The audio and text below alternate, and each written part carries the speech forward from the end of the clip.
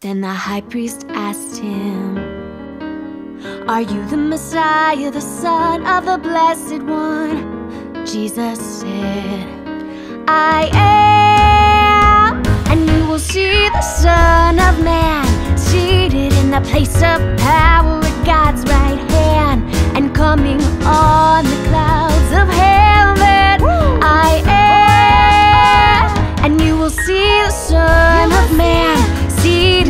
Hey